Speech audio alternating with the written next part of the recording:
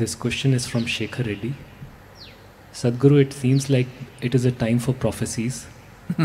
While many are referring to the foretelling of Putluri Veer Brahmam, a saint and seer from Andhra who wrote about corona in his Kalagnanam, others are referring to French apothecary, astrologer, and seer Michel de Nostradamus.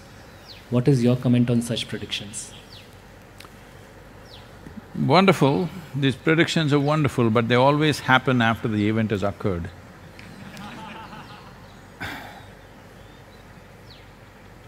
So, all these people who are reading all these prophecies, why couldn't they prevent it if they knew beforehand? If you know beforehand and if you do not prevent a pandemic, that's called a crime of the worst kind. So, uh, it is a human fad that they want to have a scope into the future. Isn't it wonderful? You don't know what will happen next. Otherwise, could you live? so, uh, there are a whole lot of people, astrologers are attacking me all over the place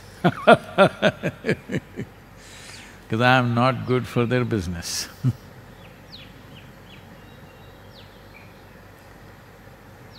So,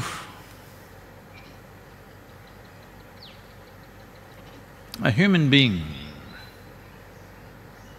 is the peak of evolution on this planet.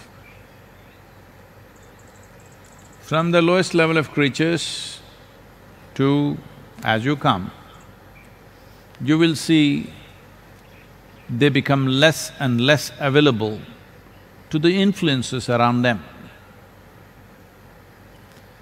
Let us say there is an earthworm.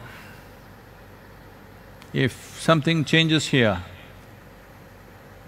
he will die he's not going to take a swim and go to Africa and live there. Or he is not even going to go ten miles away and live there. He will die because that's how much capability he has. If this terrain or if his habitat goes bad, there is nothing he can do. This is why we've been talking about rejuvenating the soil because these microbes and worms which are vital for our survival, they will not migrate somewhere else. They do not have the capability of a corona. Corona doesn't have the capability, it is just that you're providing free transport. Human beings, the most mobile creatures on the planet, are providing transport.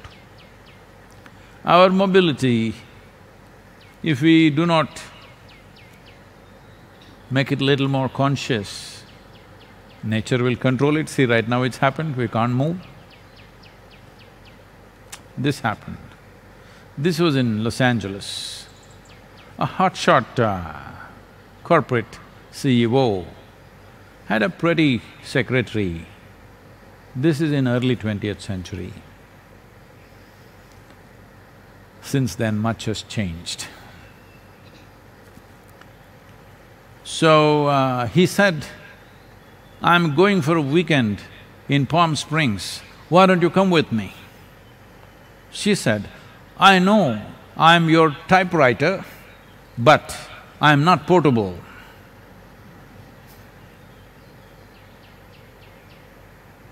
Your portability needs to become little more conscious.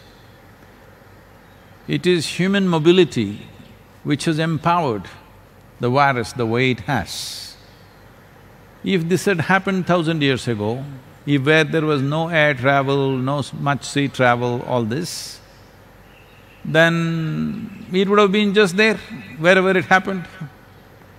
Wuhan or wherever it happened, it would have been just around there, maybe adjacent villages, something, and it would have died out. But because human beings have become so mobile, Today they're in China, tomorrow morning they're in Italy, next day morning they're in uh, United States or wherever.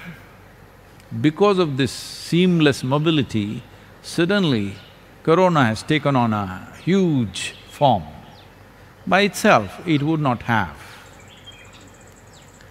because it needs you. So, this…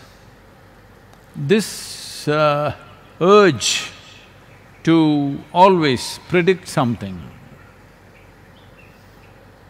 There was a man, he is no more, there was a man like this in Tamil Nadu. He predicted, five hundred years later, there will be a big flood in Tamil Nadu. I said, that's wonderful. People came and asked me, Sadhguru, what do you think? Five hundred years later, there's going to be a major flood. I said, that is why I'm sitting at the foothills, in case the flood comes, we will go up the mountain. You are in Chennai, you will go. He said, is that so? I said, yes. But I can also make some predictions. Seven hundred years later, this hill is going to become a volcano and blow. Said, what, really? I said, see, seven hundred years later, I will not be there, you will not be there. We can predict whatever we want. Please tell me what is going to happen in the next five days. Not even five months, next five days, tell me what's going to happen. This could be useful. Like a meteorological report. If you tell me what's going to happen in the next five days, it would be of some use. Five hundred years later, anything can happen.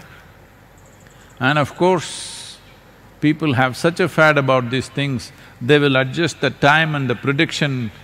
Just about everything that can ever happen on this planet has already been said by Nostradamus. I'm not a French, you know, I'm not conversant with French, but I like the word damus. in English language, I don't know what it means in French. So,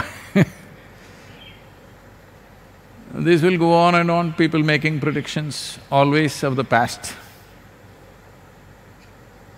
Well, if you look at certain projection of how populations are growing, how things are happening, what kind of ecological damage is happening, you can make some calculation and predict something that in this trajectory if you go, this is what you will hit, we can say that.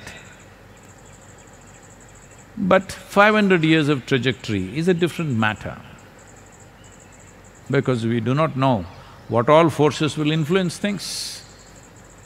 People say, you know, after the world war is over, they say, we… we knew this is going to happen, you know, somewhere it is written. After the nuclear bombs, atomic bombs were dropped, people say, we knew about this, two ugly spots will happen in the world. What about the test explosions? You missed all of them, you don't know how many hundreds of tests have been done. Maybe human beings did not die, I'm sure. A whole lot of creatures have died. So this is a wasteful thing. Instead of doing what you have to do now, actively, you go on talking about how we already knew. There are two problems right now with coronavirus. Like somebody said, it is dense population and dense population. We are already a dense population, don't also be dense up here. Let's do what best we can do, don't predict how many people will die. It's just stupid. How many people we will not let them die, this is important.